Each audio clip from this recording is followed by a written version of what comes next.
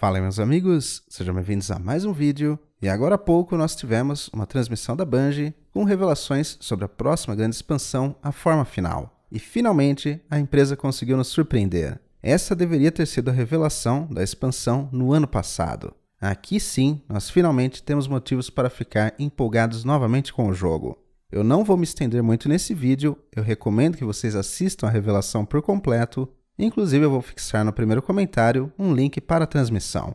Coisas importantes a saber, primeiro nós teremos uma nova subclasse, e é aqui que as coisas começam a ficar um pouco loucas. Dentro dela você vai poder compor as suas habilidades com os diferentes elementos que nós temos no jogo. Então, por exemplo, você vai poder ter um ataque de corpo a corpo solar, uma granada de vácuo e o super de estase. Então, conforme você causa dano com elementos da luz ou da treva, uma barra vai ser completada e ao atingi-la você vai entrar em um modo especial que vai te dar acesso a habilidades exclusivas. Então, além dessas combinações, além do super, das habilidades que nós já temos, ainda haverá esse efeito poderoso adicional. Então aqui fica claro que eles estão abrindo mão do balanceamento que nós temos hoje em dia no jogo, em favor de dar para nós coisas mais interessantes, muitas novas possibilidades para as builds e sem dúvida, esses combos serão extremamente poderosos, extremamente quebrados.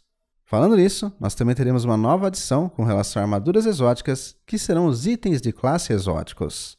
E a grande sacada aqui é que eles irão combinar duas características de outras armaduras exóticas em um só item. Esses serão drops aleatórios e nem mesmo precisa ser da sua classe. Então, como exemplo, isso ainda está em desenvolvimento, então pode ser que mude, mas nada impediria um caçador de ter a vantagem da Sintóceps no item de classe dele. Então, combinando esse novo potencial do item de classe exótico com a nova subclasse, que já por si só mistura luz, treva, diversas combinações poderosas que nós já conseguimos imaginar, parece que nós temos mais possibilidades de builds, de ser criativos do que nunca dentro do Destiny. E finalmente, mais uma excelente notícia, nós teremos uma nova facção de inimigos adicionada. Isso tem sido pedido já há muito tempo, era algo que faltava muito no Destiny nos anos recentes, mas a testemunha ganha uma facção exclusiva de lacaios dela. Nós teremos, por exemplo, oponentes que voam e eles terão ataques de proximidade que irá gritar contra você, suprimindo você e te tornando mais lento, e também oponentes no corpo a corpo, que além da letalidade habitual para esse tipo de oponente, quando destruídos, ainda liberam parte deles que vai te perseguir e explodir.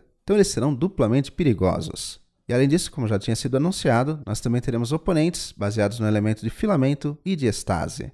Então, meus amigos, essa é uma revelação de expansão digna. É o que essa expansão merecia ter recebido no ano passado. De qualquer forma, esse atraso para a forma final parece justificado, já que agora sim nós conseguimos ver muito mais conteúdo e uma abertura muito maior de possibilidades para nós jogadores. Então, mais uma vez, o link para a transmissão completa vai estar gravado no primeiro comentário e eu recomendo que todos assistam, porque realmente ficou muito interessante.